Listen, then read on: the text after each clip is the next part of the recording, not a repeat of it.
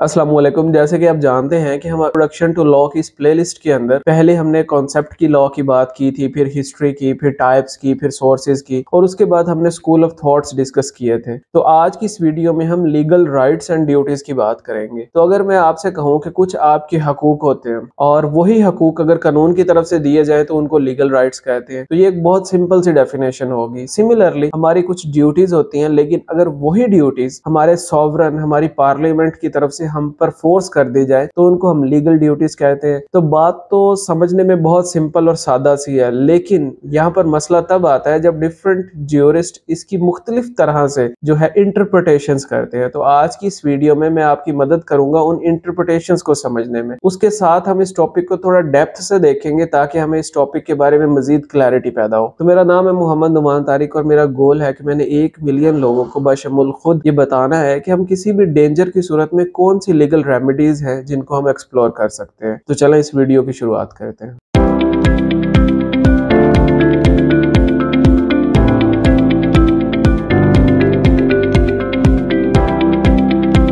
तो चलिए अब हम बात कर लेते हैं राइट्स के बारे में। कि राइट्स होते क्या हैं? व्हाट इज़ राइट तो जब हम राइट्स की बात करते हैं तो इसमें हम दो मेजर थ्योरीज को डिस्कस करते हैं। जो पहली थ्योरी है, वो कहती है जिसका नाम है इंटरेस्ट एंड बेनिफिट थ्योरी और वो कहती है कि right is an interest which is recognise and protected by the state यानी कि कुछ ऐसे इंटरेस्ट हैं जो कि प्रोटेक्ट किए जाते हैं, पहले रिकोगनाइज किए जाते हैं और फिर प्रोटेक्ट किए जाते हैं स्टेट की जानब से। उनको हम राइट्स कहते हैं। इस थ्योरी के प्रोपाउंडर्स की बात करें, इस थ्योरी को देने वाले जो फिलोसफर्स हैं, उनकी बात करें तो इसमें top of the list Salmond है, फिर आयरिंग है और फिर तीसरे नंबर पे बकलैंड है। इन तीनों फिलोसफर्स की डेफिनेशन जो है, वो इंटरेस्ट थ्योरी से रिलेटेड है और इससे हम इन तीनों फिलोसफर्स की डेफिनेशन को समझ चुके हैं। फिर अगर दूसरी थ्योरी की बात करें तो उसको हम कहते हैं विल एंड चॉइस थ्योरी इनके accordingly right is the capacity of a person to control the actions of other with the assent of state अब जहाँ पर स्टेट की एसेंट आएगी और हम एक इंसान दूसरे इंसानों के एक्शंस को कंट्रोल करेगा तो उसको हम राइट्स कहेंगे। इस थ्योरी के प्रोपाउंडर्स की बात करें तो इसमें top of the list Austin है। उसके बाद फिर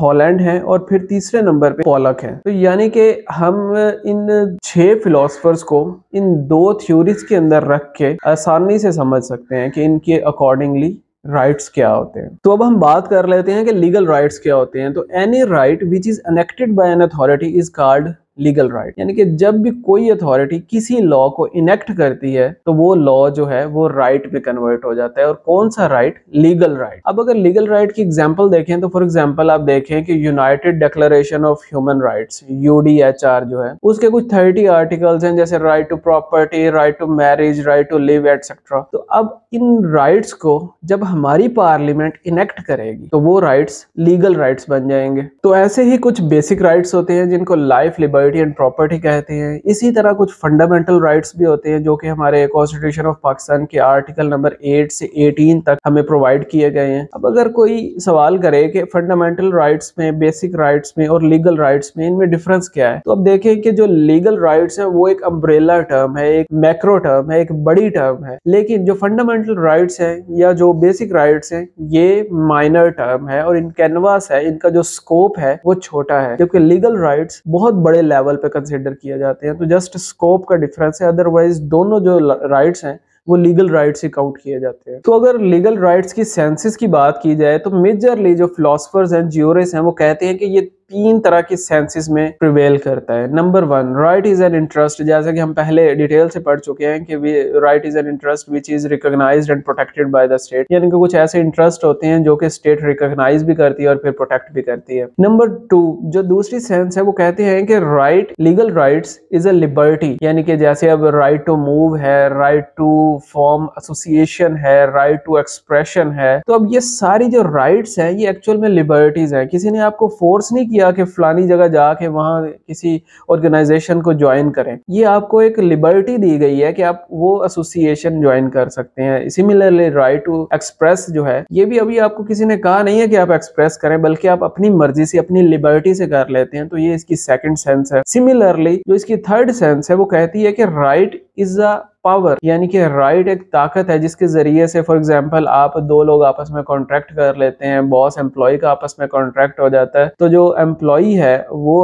और जो बॉस है, इस कॉन्ट्रैक्ट में बॉस अपनी पावर को शो करता है। सिमिलरली इसी तरह अगर आपने कोई प्रॉपर्टी सेल करनी है तो उस सेल में जो सेल करने की ताकत है, जो पावर है, वो आपको ये लीगल राइट्स प्रोवाइड कर रहे हैं। तो इसी तरह इसकी थ्री सेंसेस है, जैसे हमने बात की कि right is an interest number two right is a liberty and number three right is a power तो इससे राइट्स लीगल राइट्स के मुतालिक हमारी जो क्लैरिटी है, वो मजीद ज़्यादा ब्रॉडर हो जाती है। तो फिर अगर असेंशियल्स की बात करें तो राइट के कुछ असेंशियल्स होते हैं, यानी कि मस्ट इंग्रेडिएंट्स हैं। उनमें सबसे पहले ऑनर ऑफ़ अ राइट अब कोई भी राइट right होगा तो उसका कोई ऑनर होगा। फॉर एग्ज़ाम्पल ह्यूमन बींग्स हम जैसे ऑनर्स है इवन जो डेड पर्सन है, उसके जो राइट्स हैं, वो उसका ऑनर है। इवन अनबॉर्न चाइल्ड जो है, उसके भी कुछ राइट्स होते हैं तो उसका भी ऑनर वो अनबॉर्न चाइल्ड है। सिमिलरली दूसरा इसका जो एसेंशियल है, वो कंसिडर किया जाता है सब्जेक्ट टू ड्यूटी कि जो भी लॉ होगा, जो भी राइट होगा, वो किसी ना किसी ड्यूटी के अंदर लाए कर रहा होगा। फॉर एग्ज़ाम्पल अगर हम इसकी बात करें तो राइट टू डिग्निटी जो है, ये अब हर इंसान का ये हक है कि उसको डिग्निटी उसको दी जाए, उसको इज़्ज़त और तोकीर दी जाए। अब सिमिलरली ये तमाम बाकी इंसानियत की ड्यूटी है कि वो उसकी इज़्ज़त में किसी किस्म की कोई कमी ना लाए। तो ये हमेशा सब्जेक्ट टू ड्यूटी होता है। Number one essential is owner of right number two is subject to duty. फिर इसका जो तीसरा सेंशियल है, उसको कहते हैं कंटेंट ऑफ़ राइट यानी कि जो भी राइट होगा, वो कहीं ना कहीं लिखा होगा। जैसे कुछ राइट्स फॉर एग्जांपल प्रियम्बल में लिख दिए जाते हैं, कुछ डिफरेंट शेड्यूल्स में होते हैं तो कॉन्स्टिट्यूशन में या किसी ना किसी जगह उसका कॉन्टेंट लिखा होगा तो ये भी हर राइट का असेंशियल इंग्रेडिएंट है। फिर फोर्थ नंबर पे आता है object of right for example अगर कोई भी राइट है तो उसका कोई ना कोई ऑब्जेक्ट है, जिसके ऊपर वो लागू हो रहा है। फॉर एग्ज़ाम्पल जैसे राइट टू लिव है, अब इसमें ये जो राइट है, ये हमारी बॉडी इस मामले में ऑब्जेक्ट है और हमारी बॉडी के ऊपर लागू हो रहा है बॉडी के ऊपर लाए कर रहा है। फिर last but not the least title of the right भी है कि जब भी कोई राइट किसी को दिया जाएगा तो उसका किसी ना किसी टाइटल के अंदर लिखा जाता है। उस राइट को कहीं ना कहीं मेंशन किया जाता है, जैसे right to live right to property तो चले अब हम ड्यूटी की बात कर लेते हैं। तो जो ड्यूटी और राइट्स है, इनका आपस में एक बहुत ही स्ट्रॉन्ग लिंक होता है। तो ड्यूटी के बारे में कहते हैं कि duty is an act of omission और commission directed by the authority and law यानी कि कुछ ऐसे डूज एंड डोंट्स हैं जिसके बारे में सोसाइटी ने हमें अवेयर किया हुआ है, हमें बताया हुआ है, उसको हम ड्यूटीज़ कहते हैं। इसकी अगर एग्ज़ाम्पल देखें तो गाड़ी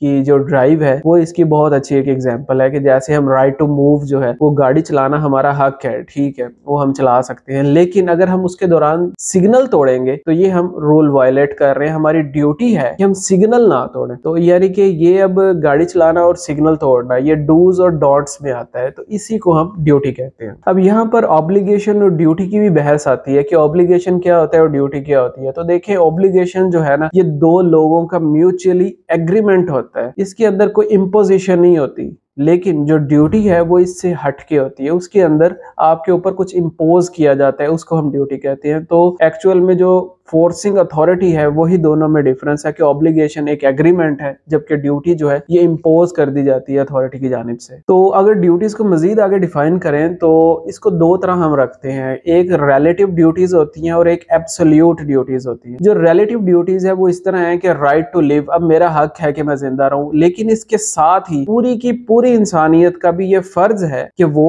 मेरी हिफाजत करें, मेरी जान की हिफाजत करें। तो ये एक, इनको हम कहते हैं रिलेटिव ड्यूटीज़ यानी कि जहाँ पर राइट आया, वहाँ पर ड्यूटी आ गई। लेकिन कुछ एब्सोल्यूट ड्यूटीज़ भी होती हैं। फॉर एग्जांपल जैसे अगर हम बात करें, कोई ट्रस्टी है किसी भी जगह का तो अब उसने उस ट्रस्टीशिप से खुद कुछ पैसे नहीं लेने, बल्कि वो पब्लिक इंटरेस्ट में उस ट्रस्ट को मैनेज कर रहा होता है। जैसे अगर हम लोकल एग्ज़ाम्पल लें तो हमारी मस्जिद वगैरह का जो चंदा इकट्ठा होता है, उसके अंदर भी अब वो इंसान जो है उसके ऊपर किसी ने कोई ड्यूटी नहीं उसके ऊपर लागू की हुई। बल्कि वो for the sake of forgiveness from Allah कर रहा होता है, यानी कि रिलीजियस एस्पेक्ट शामिल होते हैं उसके अंदर। और वो इसके बदले में कोई ना कोई राइट भी क्लेम नहीं कर सकता, क्योंकि ये वो पब्लिक इंटरेस्ट में कर रहा है। तो अगर अब हम इसकी काइंड्स की बात करें तो इसको हमने मेजरली ब्रॉडर कैटेगरीज में रखें तो इसको दस कैटेगरीज में डिफाइन करते हैं, जो कि ये हैं, जैसे कि परफेक्ट एंड इम्परफेक्ट राइट्स फिर पॉजिटिव एंड नेगेटिव फिर in remember and in personam फिर रीप्रोपिया एंड री अलाइना फिर प्रिंसिपल और फिर असेसरी फिर प्रॉपर्टी एंड फिर पर्सनल